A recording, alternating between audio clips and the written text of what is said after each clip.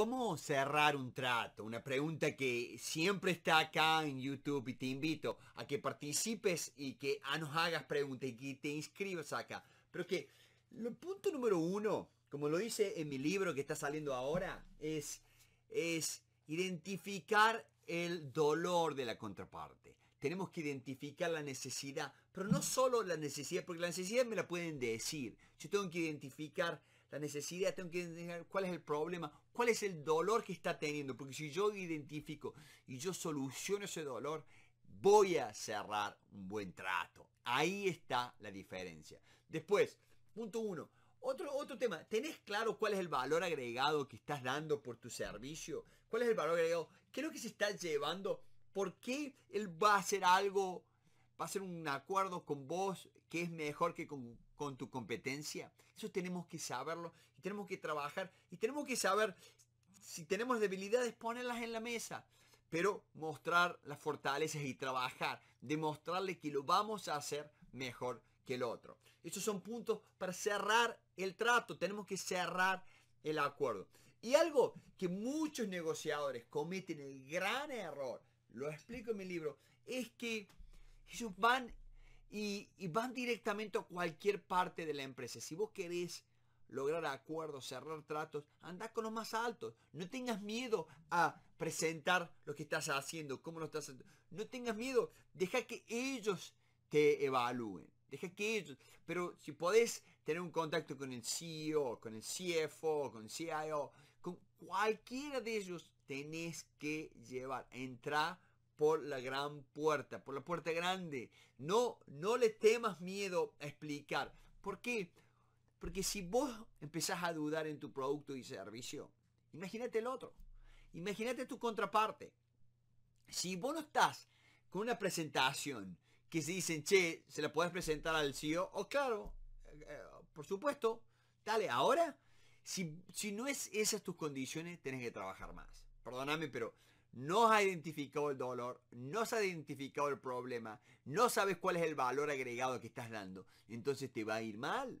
Otro tema, otro tema que es, es clave, el sentido del humor, el sentido de, alegría, trae y radia algo positivo en la mesa. Tener cuidado, llamar a la gente por su nombre, este, respetarlos y y da ese, esa sinergia que da cuando alguien es amistoso, cuando alguien tiene buenas intenciones. Eso, eso se ve, eso se, se nota. Y uno de los grandes problemas es que por ahí están tan nerviosos que no logran esa conexión. Tenemos que conectarnos ser humano con ser humano. Por eso, pregunta el nombre. No tengas miedo. Así sea el CEO, preguntar el nombre, llamarlo por el nombre, decirle eso, contactar, buscar cuáles son las similitudes que tenés con la gente que vas a reunirte, ¿no? Eh, utilizar la empatía. La empatía es para comprender y ser comprendido. Pero lo más importante es comprender primero. Tenemos que comprender al otro. Tenemos que ganar la, la confianza del otro. ¿Y cómo la vamos a ganar? justamente trabajando con ellos, demostrándole a ellos que nosotros estamos acá para servir, para ver, Él es el héroe, Él es la persona más importante de la mesa. ¿Cómo yo puedo ayudar a eso?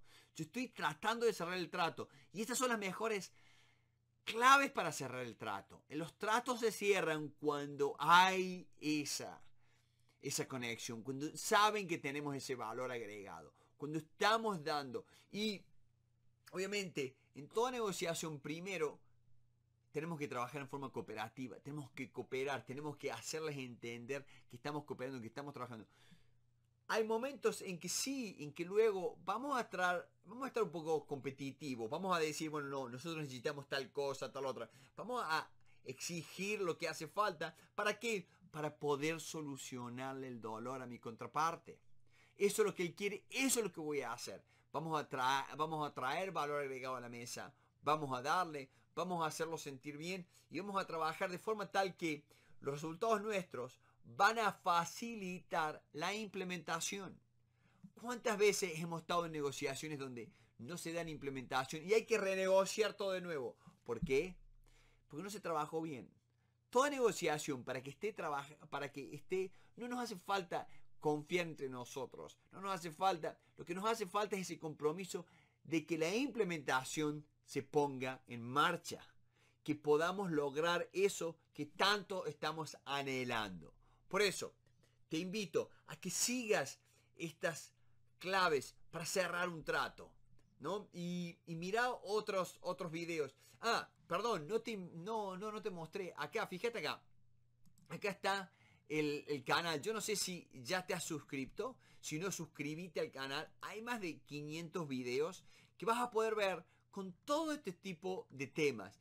Y además, ¿no? Además, te invito a que formes parte del masterclass. Los masterclass son todos los martes a las 18 horas, hora del este de los Estados Unidos. Pones tu nombre, tu dirección eh, y acá entras a un grupo VIP donde ese grupo le mandamos el link de Zoom. Por eso hacemos eso. Y podés eh, participar en una comunidad privada en Facebook para, para, para conocer otro, otra gente como vos, otro, otros líderes. Por eso te invito, es fundamental para los líderes tener buenos contactos en todas partes del mundo para que nos ayuden y para discutir esto. Cuando estemos en las masterclass, discutimos distintas, distintos problemas que distintos ejecutivos, distintos gerentes, distintos líderes tienen en distintas partes del mundo, que ayuda a quien, a todo el mundo nos ayuda. Todos nos, todos beneficiamos de ese tipo de preguntas. Por eso, no te olvides, para cerrar un trato, seguí estos consejos, son claves y te invito todos los martes todos los martes que, que vengas en vivo, en vivo acá al Instituto de Negociación, suscríbete y te va a llegar el link y suscríbete al canal nuestro de YouTube, te va a ayudar muchísimo a mejorar tus negociaciones. Hasta luego, gracias.